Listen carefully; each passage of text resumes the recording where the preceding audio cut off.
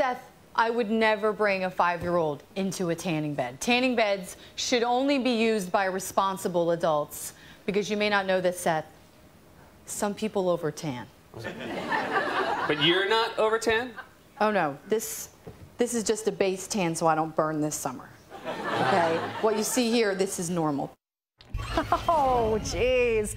That is an SNL skit poking fun at the tanning mom. But as we know, over tanning is no laughing matter. Some are even calling those who tan tanorexic. Of course, this is Skin Cancer Awareness Month as well. And we've got a local makeup expert and a model who has bronzed makeup, who has looks, you know, using great products that are safe for your skin. You're not going to end up like Tanning Mom, thank goodness. I'm joined now with Lynda Moore, owner of SkinBar in Henderson, and the lovely model Laura. How are you doing, Lynda? Great. Good. Lynda, Laura, how are you guys doing? L squared. I'm feeling bronzed right now. Well, you know, as owner of a skin bar, where of course, you know, we're coming to summer months, this tanning mom controversy, I'm sure, is you've got lots of opinions on it. I'm sure. Yes. Um, first of all, that picture of her is actually a spray tan. I don't know if people understand that. It's a spray tan with bronzer, so it, she just over bronzed herself.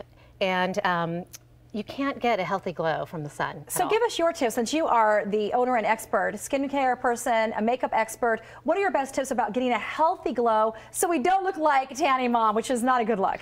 Um, the only way to get a healthy glow is from makeup and from bronzers okay. and from self tanners. So with Laurel, tell us what you're doing to her face to make it look bronze. Um, right now, I'm actually putting on just a tinted moisturizer and um, it's actually called Warm Bronze Tinted Moisturizer. And there's lots of anti-aging properties as well, and ingredients, and an SPF of 15 as well. Okay. So um, I'm just putting on a light moisturizer with a bronzer, and then I'm going to also put a little bit of uh, topical bronzer. Okay, show well. us that. Show us how to bronze the right way, basically. Okay. Well, first of all, um, putting it all over her face and also her neck. You don't want that line of demarcation. No, no. Uh, trust me. That's I got a caller once who's like, "Can Rachel blend the face to the neck?" Because yeah.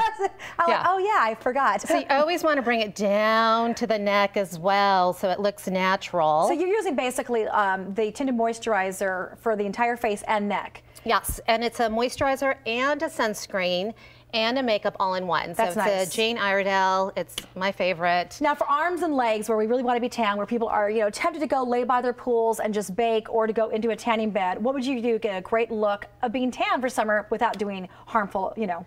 Um, definitely a self tanner because the self tanner will stain your skin. This will wash off after, you know, when she washes her face. Okay. Self tanners, how they act is they stain their the skin um, by reaction with the skin cells. Now, have they improved a lot? Because a lot of people worry about self tanners because they look streaky, they look orange, they don't look natural. Although you look great, and you used a self tanner today, which looks great. I did. I used the self tanner on my legs because I knew I was wearing shorts, and, then also on my arms. Yes, because this area actually was about five times lighter this morning. I'm like, okay, this doesn't look good.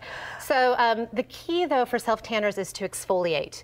You have to exfoliate, remove that dry, dull skin first.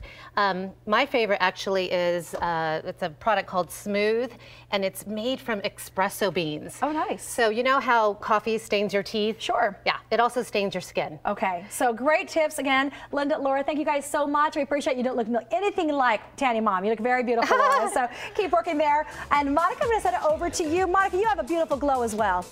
Oh, thank you, Rachel. I don't understand why I didn't do that segment. anyway.